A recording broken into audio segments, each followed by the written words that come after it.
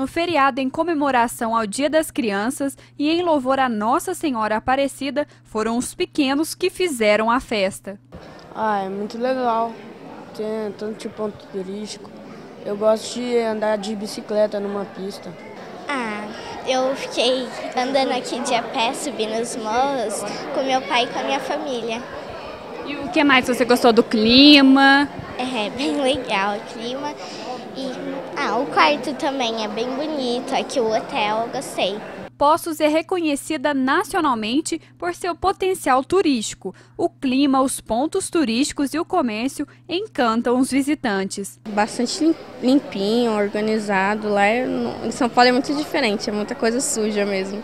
Por causa desse negócio de eleição também, nossa, tá terrível. Aqui teve, mas não tá limpinha a cidade mesmo. Aí isso é bastante organizado, é bom.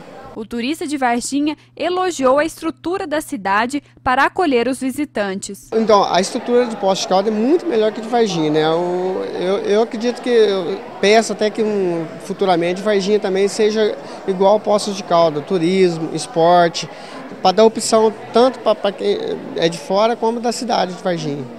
Poços recebe milhares de turistas durante datas comemorativas e neste final de semana não é diferente. Mas os empresários do setor de turismo querem mais, uma vez que a taxa de ocupação dos hotéis está em torno de 80% e o ideal seria 100%. Para mudar esta realidade, a alternativa é investir em divulgação. Para trazer mais turistas, a gente está fazendo um trabalho grande é, de ir nas cidades, divulgar o hotel, divulgar a cidade. Poças tem muitas oportunidades. Outra medida é fortalecer as atividades recreativas das hospedagens.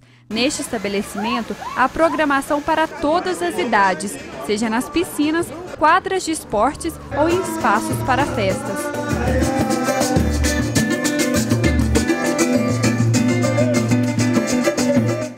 A gente tem uma programação bem forte, né? Uma equipe bem grande, bem forte também em relação a essas atividades recreativas, né? Que a gente prepara para crianças a partir de 4 anos até os adultos. Então temos roda de samba, temos atividades à noite, jantares temáticos, é para atender todos os gostos, né? E todas as idades também. O turista de Belo Horizonte já escolheu sua cidade preferida. Ah, acho que Poços.